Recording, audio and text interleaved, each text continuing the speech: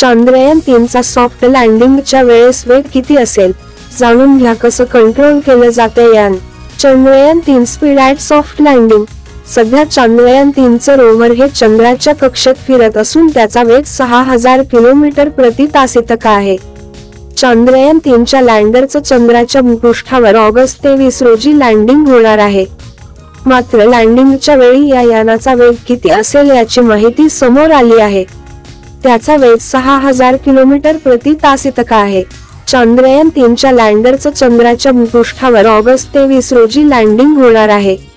मात्र लँडिंगच्या वेळी या यानाचा वेग किती असेल याची माहिती समोर आली आहे. चंद्रयान तीन स्पीड ॲट सॉफ्ट लँडिंग. भारताच्या चांद्रयान मोहिमेचा महत्त्वाचा टप्पा पुढील काही दिवसामध्ये पार पडणार आहे. चांद्रयान तीन लवकरच चंद्राच्या पृष्ठभागावर उतरणार आहे. चांद्रयान तीनच्या सॉफ्ट लँडिंगची तयारी सुरू झाली आहे. हा टप्पा फार महत्त्वाचा मानला जात आहे कारण चांद्रयान दोन मोहीम या टप्प्यामध्ये अपयशी ठरली होती.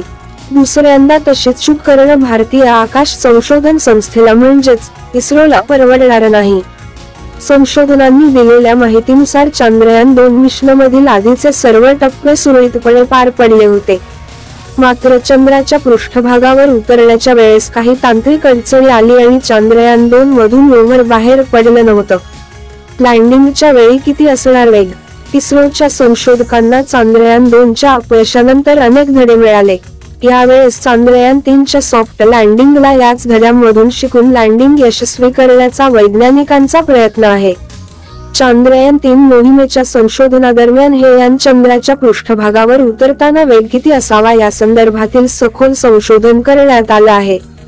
याच संशोधनाच्या आधारावर आता चांद्रयान तीनचं लँडिंग ऑगस्ट तेवीस रोजी होणार आहे. चांद्रयान तीन मोहीम अवकाशात झेपावली तेव्हा त्याचा वेग छत्तीस हजार किलोमीटर प्रति तास इतका होता. आता चंद्राच्या कक्षेत फिरणाऱ्या चांद्रयान तीनच्या ऑर्बिटरचा वेग ताशी सहा हजार किलोमीटर प्रति तास इतका आहे. हा वेग हळूहळू कमी केला जाणार आहे. प्रत्यक्ष लँडिंगच्या वेळी या यानाचा वेग दहा पूर्णांक आठ दशांश किलोमीटर प्रति तास इतका असेल. चांद्रयान दोन मध्ये याच गोष्टीत झालेली गडबड.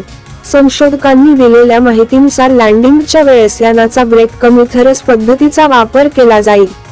यामध्ये वेगात असणाऱ्या यानाची दिशा हळूहळू बदलून त्याला निश्चित वेगापर्यंत आणलं जातं. चांद्रयान दोन मोहिमेमध्ये याच प्रक्रियेत गोंधळ झाला होता आणि ती मोहीम अपयशी ठरलेली. चांद्रयान दोन मध्येही थ्रस्टचा वापर केला मात्र त्यामुळे गडबड झाली आणि लँडर यानामधून बाहेरच आलं नाही. त्यामुळेच आता या ऍडजस्टेबल थ्रस्टबद्दल संशोधकांनी बराच अभ्यास केला आहे. म्हणूनच आता चंद्रायन तीनचा वेग कमी करण्यासाठी थ्रस्टचाच वापर केला जाणार आहे. हे यान पृथ्वीवरून रडारच्या माध्यमातून नियंत्रित केलं जात आहे. थ्रस्ट किती असावा तो कधी आणि कसा वापरावा या संदर्भात इस्रोच्या संशोधकांनी सखोल अभ्यास केला असून याचा प्रत्यक्ष उपयोग ऑगस्ट तेवीस रोजी लँडिंगच्या वेळी केला जाणार आहे. तुम्हाला ही माहिती कशी वाटली ते आम्हाला कमेंट करून कळवा. आणि असेच व्हिडिओज पाहण्यासाठी आमच्या चॅनेलला सबस्क्राईब करा.